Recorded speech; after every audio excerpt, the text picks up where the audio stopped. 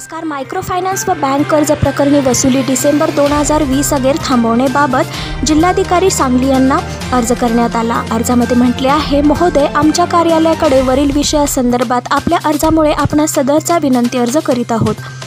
सध्या आपल्या देशाचीच नव्हे तर संपूर्ण जगाची अर्थव्यवस्था कोविड नाईन्टीन या संसर्गजन्य रोगाच्या प्रादुर्भावामुळे ढासळली असून या महामारीच्या तडाख्यात सर्वात जास्त नुकसान आपल्या विकसनशील देशाचे झाले आहे. देशात जी डी पी हा तेवीस पॉईंट नऊ इतका ढासळला आहे. तसेच सर्वसामान्य जनतेला उपासमारीला सामोरे जावे लागत आहे.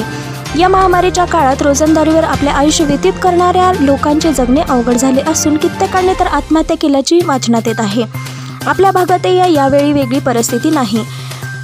गरीब जनता प्रशासनावर विश्वास ठेवून एका सुखद भविष्याच्या अपेक्षेने जीवन जगत आहे. पण सध्याच्या अशा परिस्थितीतही मायक्रो फायनान्स व बँक यांच्याकडून बचत गटाद्वारे दुचाकी व चार चाकीसाठी काढलेल्या कर्जाची वसुली संबंधित अधिकाऱ्याकडून जोर जबरदस्तीने करण्यात येत आहे. बचत गटातील महिलांना आपले दागिने विकण्यास भाग पाडले जात आहे.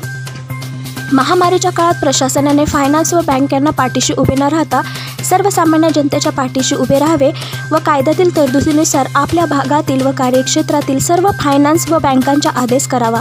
की डिसेंबर दोन हजार वीस अखेर सर्वच त्यांनी कर्जाची वसुली कोणत्याही प्रकारे करू नये. आपत्ती व्यवस्थापन कायदा दोन हजार पंधरा लागू असून माननीय जिल्हाधिकारी सो यांना सदर कायद्यान्वये सदरची वसुली स्थगित करण्याचा अधिकार असल्याने तसा आदेश पारित करून सर्वसामान्य जनतेला दिलासा द्यावा ही नम्र विनंती करण्यात आली आहे.